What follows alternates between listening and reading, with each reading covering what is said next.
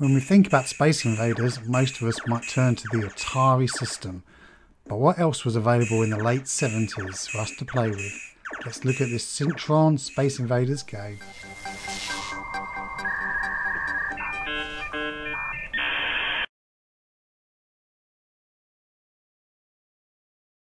So this is the item we're going to be looking at.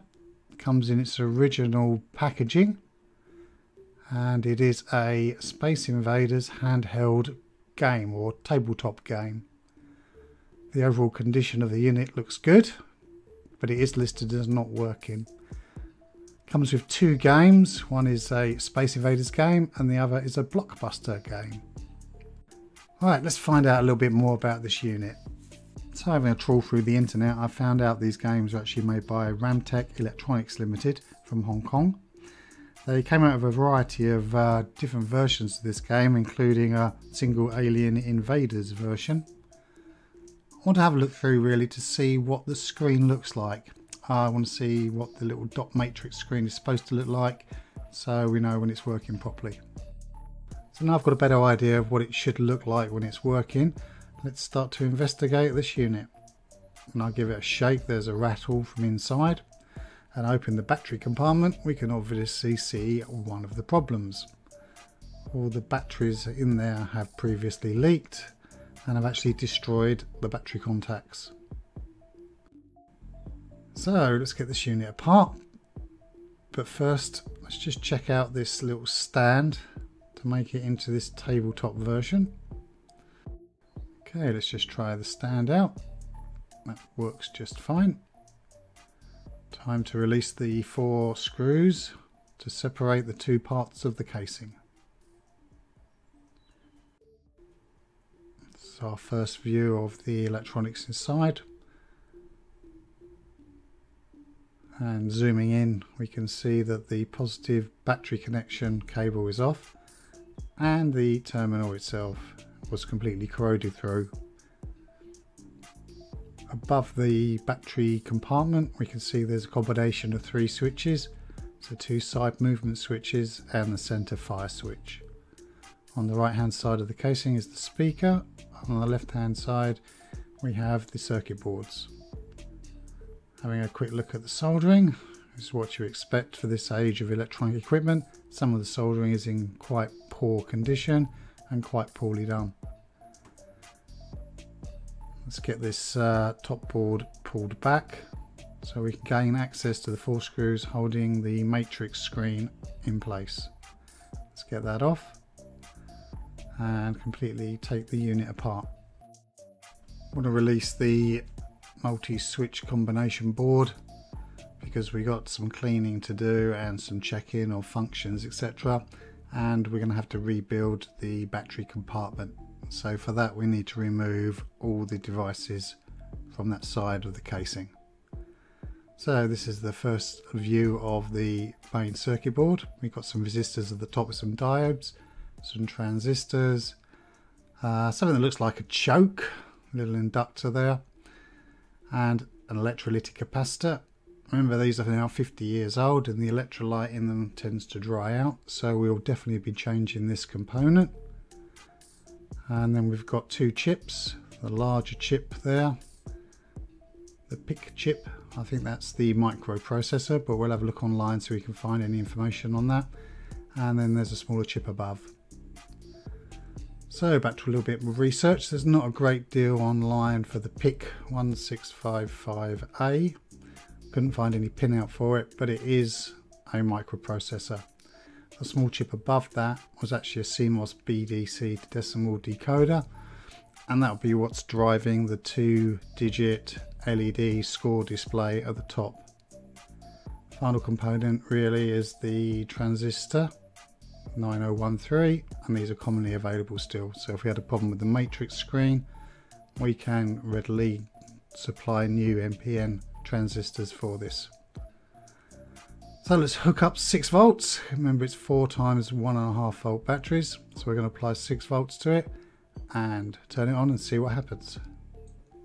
I can see that the scoreboard display has come to life and all the matrix dots appear to work. the little paddles either side move left and right and the fire button works okay. This is game one, this is the Space Invaders game. Okay, let's try the second game, the blocks game. When you move it into the second position, the bottom dot becomes a double dot to represent the paddle. And then by pressing the fire button, it shoots a ball up, which then knocks the blocks out of the wall. That all seems to be working correctly. So we can now move on from the testing phase to the repair phase. Start with, because of the age of the equipment, let's give the whole circuit board and switch assemblies a good clean up with a standard degreaser. This is just to clean the contamination off of the boards. Just work the switches in either position to try and help clean the contacts up inside and then we just blow compressed air through just to get the degreasing agent out then move on to a standard electronic cleaning solution which I just use on the switches because it has a better cleaning action and it also ends up as a better long-term solution for dodgy contacts. Okay, just blow out the residual cleaning solution again and then we'll move on to the soldering just have a look for any dodgy joints dry joints any bits of poor soldering around the board and just uh, touch it up here and there. Let's move on now to replacing the original electrolytic capacitor. It's 47 microfarad 50 volt and this is the modern day equivalent version the same value which is physically a lot smaller because over the years they've improved the uh, materials used within the capacitors themselves. So we insert the uh, new capacitor and solder it into place. As I've installed a new component and also done some reflow work on the solder joints, I'm going to have to uh, retest it back on the mains power supply again just to make sure there isn't any problems. Right, the check was all okay, so I'm going to move on now to the battery compartment. Firstly, because of the uh, corrosive nature of the leakage from the batteries, I apply white wine vinegar just to neutralize the alkali from the batteries. I'm also going to remove this piece of red material that is used to extract the batteries as it is uh, badly contaminated and I will replace that. So let's take out all the battery contacts that are installed within the uh, battery compartment and see if it's possible to reuse any of them and uh, list out which ones I need to replace looks like I'll be able to retain a couple of the battery contacts once they've been uh, cleaned up again and I'll find some alternative ones for the ones that are beyond repair. So we'll clean and dry out the battery compartment and try and have a clean up of the original battery contacts that we're going to reuse.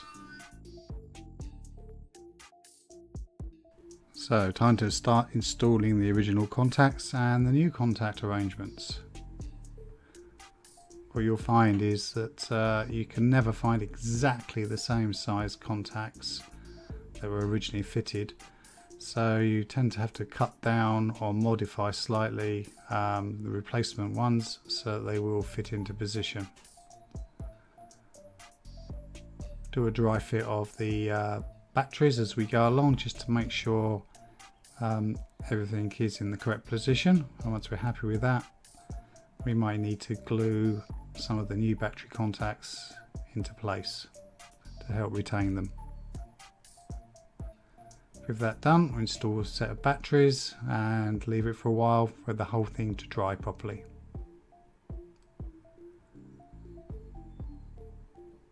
Once it's dry, with the uh, old batteries we got currently installed, we can now take a voltage reading uh, across the positive and negative terminals just to make sure we have got around 6 volts. We got a good battery connection. Everything looks good there. So let's move on now to replacing the uh, battery removal ribbon. I haven't got exactly the correct size but I found something similar. So just punch a hole in the end of it so we can refit it back into the casing.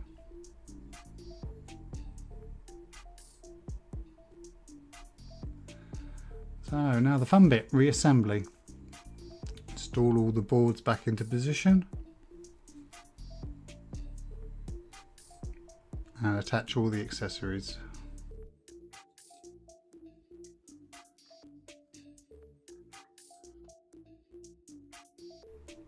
Right, we're heading towards now the final part of the job.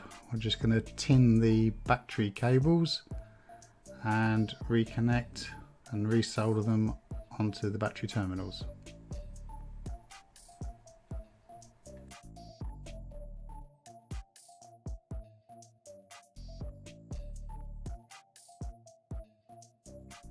Okay, final part of the job, put the casing back together again and install some brand new batteries.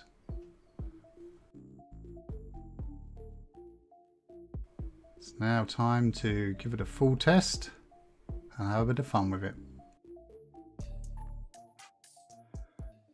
Give it a go.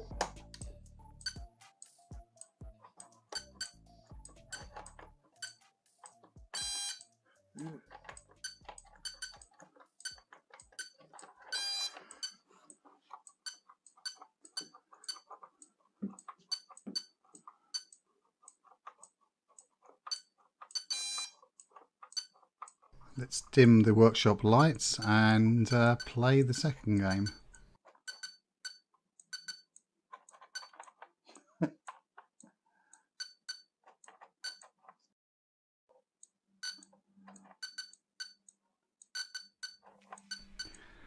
It's a little bit tricky to play, the pedal positions are a bit all over the place, but it's now back working again. Hope you enjoyed the video and join us again.